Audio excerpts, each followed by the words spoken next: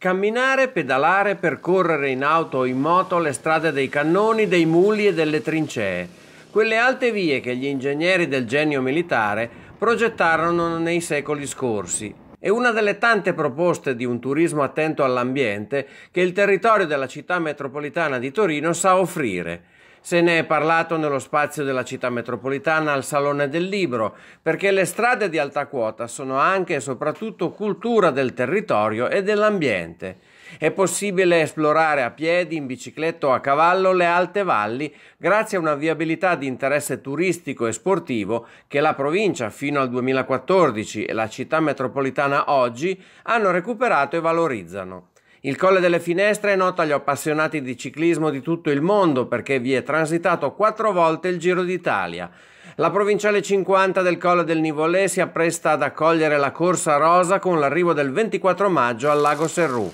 La tappa del Giro che è prevista per il 24 maggio ha impegnato con notevole anticipo il personale della città metropolitana per le operazioni di apertura della strada. Ehm operazioni che comunque sono gestite tutte da personale interno per cui eh,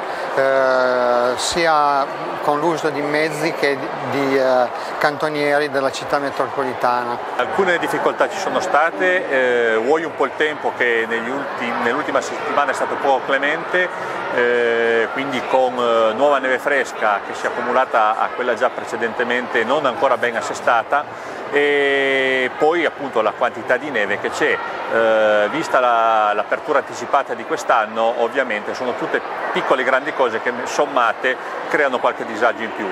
La strada del Colle della Sietta propone agli appassionati della mountain bike una cavalcata da Sestriera al Pian dell'Alpe di Ussò, mentre ad Usseglio il cicloturismo ha trovato un'altra delle sue perle nella salita al lago di Malciausia sulla provinciale 32. Tra il 2008 e il 2012 c'è stato un progetto europeo che ha permesso di fare degli interventi sulle strade bianche, le strade terrate che noi chiamiamo bianche, di buona parte della Val di Susa. La Val di Susa è una valle in cui è famosa per, per la presenza di queste strade bianche, strade bianche che sono conosciute non soltanto da noi nelle valli, nelle vallate alpine, ma anche e soprattutto all'estero. Infatti ci sono parecchi turisti che la utilizzano, che arrivano da dalla Germania, dal Belgio, dall'Olanda, dalla Cecoslovacchia. Durante l'inverno e anche tarda, nel tardo autunno non sappiamo mai cosa capita, dalla frana, dalla slavina, dalla pioggia forte torrenziale che magari con, con le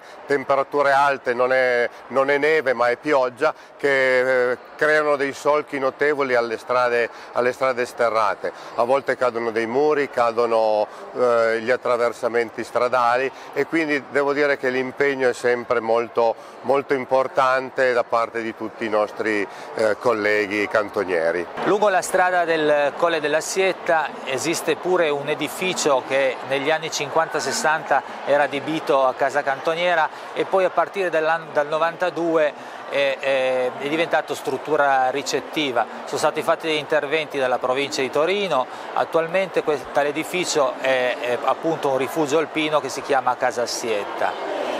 è meta di molti eh, turisti, soprattutto ciclisti, che durante, approfittando dei giorni di chiusura, mercoledì e sabato di, nei mesi di luglio e agosto, si recano su, mm, su, su, quel, su quella località per, eh, per, fruire dei servizi che dà, che dà il rifugio.